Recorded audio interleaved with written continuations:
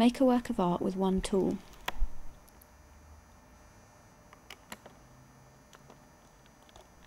Send the work of art to the Milwaukee Art Museum for an exhibition.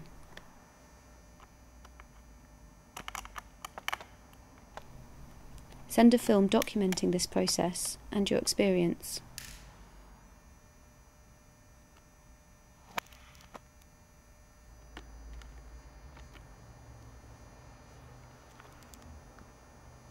When you make this work, you might want to consider the following questions.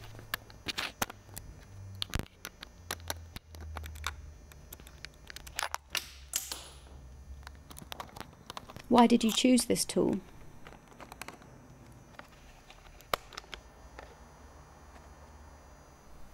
Where did this tool come from?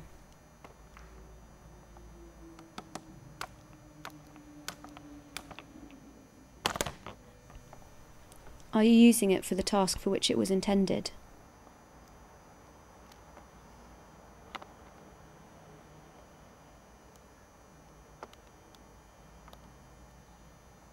How do you know when the tool is working correctly?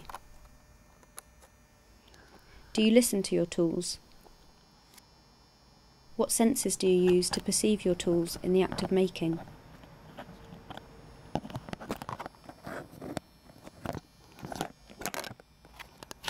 Does the tool become an extension of your body, something almost invisible?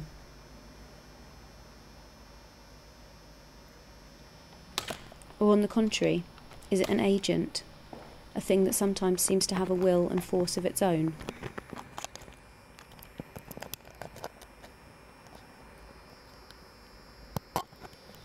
Do tools help fuel your creative process?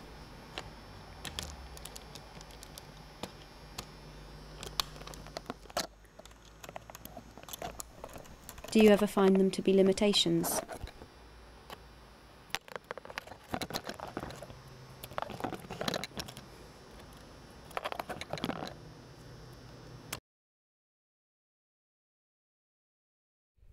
Do you feel an attachment to this tool?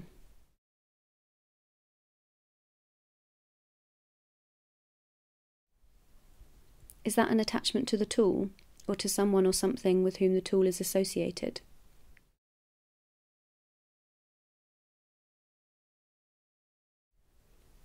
Do you ever loan your tools?